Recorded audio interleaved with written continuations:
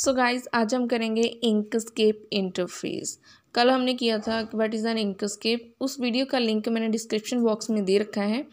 उस लिंक पे क्लिक करके आप वीडियो देख सकते हो। So let's start the video Inkscape interface when you open inkscape, you will see several areas which you need to identify in order to work in it. जब भी आप क्या करोगे इंकस्केप ओपन करोगे तो आपको क्या होंगे? सेवरल एरियाज़ शो होंगे। जिनको आइडेंटिफाई करना आपके लिए ज़रूरी है, अगर आपको इंकस्केप विंडो पे वर्क करना है। So first one part of Inkscape interface is title bar it is at the top of the screen title bar कहाँ होता है?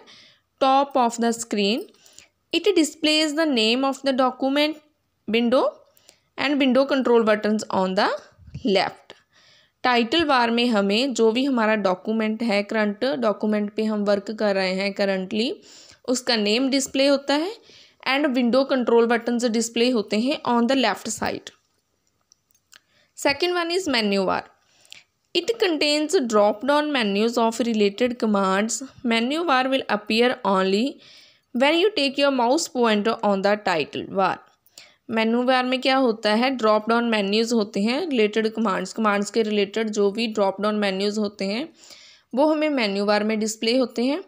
और मेन्यू बार हमें तभी अपीयर होती है, डिस्प्ले होती है, जब हम अपना माउस पॉइंटर टाइटल बार पे लेकर जाते हैं। Next is commands bar. It contains customized tools such as open, new, save and print. Commands bar में टूल्स होते हैं लाइक ओपन हो गया न्यू हो गया save print next is tools control bar. It is an on screen area that displays tools that change according to the active tool tools control bar क्या होता है? ऑन स्क्रीन एरिया होता है, जो क्या करता है? हमें टूल्स डिस्प्ले करता है, जो according to the active tool change हो जाते हैं। जो भी हमारा सिलेक्टेड एक्टिव टूल होता है, उसके अकॉर्डिंग ऑप्शंस चेंज हो जाती हैं। Tool box the tool box contains a range of tools that you can use for specific drawing and editing tools tool box में क्या होता है? Range of tools means multiple tools होते हैं और उसे हम क्या करते हैं? कोई भी स्पेसिफिक ड्राइंग करनी है एडिटिंग करनी है, उनके लिए वो टूल्स हम यूज़ कर सकते हैं। Next is ruler Horizontal and vertical rulers let you determine the size and position of objects in a document. Horizontal और वर्टिकल रूलर्स होते हैं, उनके साथ हमारा जो भी ऑब्जेक्ट्स हैं हमारे डॉक्यूमेंट के उनसा उनका साइज़ और पोजीशन डिटरमाइन कर सकते हैं। Next is colour palette colour palette is a bar that contains colour swatches colour palette एक बार होती है, जिसमें कलर स्वेचेस होते हैं। स्वेचेस क्या होते हैं? Is a quick way to apply colour on shapes swatches क्या है? एक क्विक वे है जिसमें हम, हमारी किसी भी शेप पर, किसी भी ऑब्जेक्ट पर ईजिली और कलर कलर अप्लाई कर सकते हैं।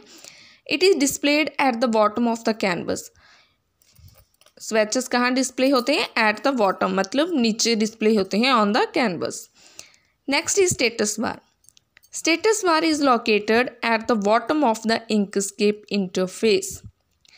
Status bar भी हमें कहाँ शो होती है? बॉटम इंकस्केप इंटरफेस के बॉटम में मीन्स नीचे वाली साइड पे हमें स्टेटस बार डिस्प्ले होती है। It includes colour indicator for the object layer selector help message area the current zoom level इसमें हमें क्या होता है? कलर इंडिकेटर शो होता है लेयर शो होते हैं layer selector help message area show होता है and current zoom level next is canvas the work space area that is bordered by scroll bars and rulers canvas क्या होता है?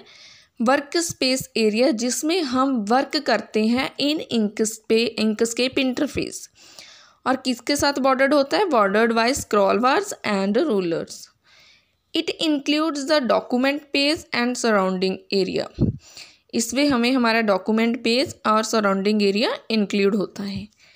Last one is document page it is the rectangular area that represents the printable section of the document window document page हमारा एक rectangular area होता है, जो हमारा printable section होता है।